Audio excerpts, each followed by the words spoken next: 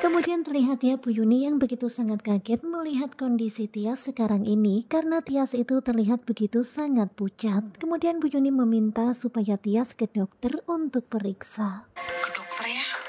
Ya pastinya Bu Yuni itu kepikiran ya apalagi melihat wajah Tias yang begitu sangat pucat dan begitu sangat terlihat lemas.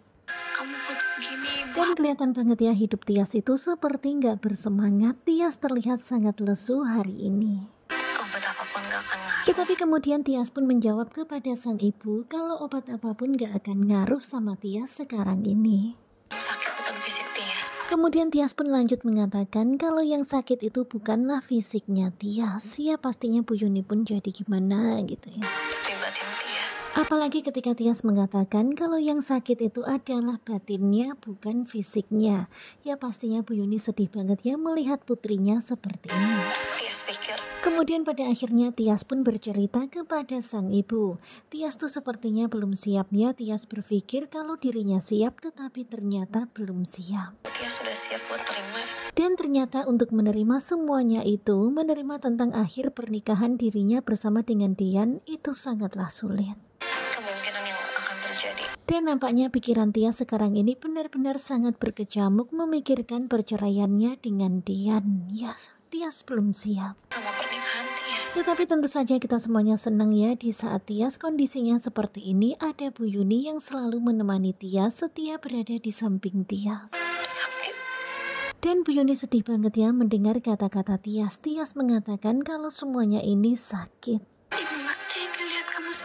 Dan pastinya seorang ibu itu nggak tega ya melihat anaknya sakit tersakiti seperti ini. Apalagi melihat sang putri yang terus-terusan bersedih hati. Kamu harus ingat. Kemudian Bu Yuni pun berusaha untuk menguatkan Tias dan di sini Bu Yuni pun mengatakan kalau kamu tuh nggak sendiri.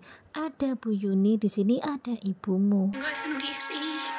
Dan memang sekarang ini yang dibutuhkan oleh Tias adalah pemberi semangat ya. Dan dia butuh seseorang untuk mendengarkan keluh kesahnya. Ada ibu. Dan memang selalu sang ibulah yang selalu menjadi satu-satunya orang yang mengerti Tias, yang selalu mendukung Tias, yang selalu berada di samping Tias. Jangan bebanin ibu. Tetapi mengingat itu, Tias itu malah justru semakin sedih karena sampai sekarang ini dirinya hanya bisa terus membebani sang ibu. Tias cuma butuh waktu.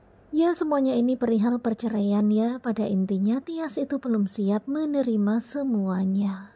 Terima kenyataan ini. Tias belum bisa menerima kenyataan semuanya ini ya kalau pada akhirnya nasib pernikahannya bakal seperti apa.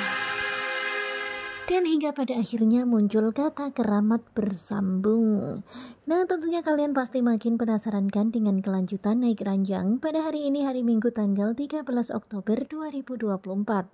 Dan sekarang ini Tias masih belum tahu ya kalau dirinya hamil. Wah, kalau dirinya tahu kalau hamil pasti bakalan lebih terpuruk lagi ya. Karena ternyata hamil ditinggal sama suami. Waduh, pastinya bakal aduh semakin hancur.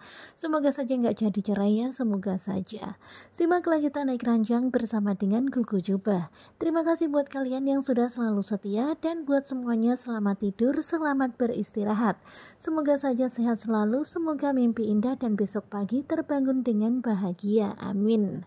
Terima kasih buat kalian dan bye-bye.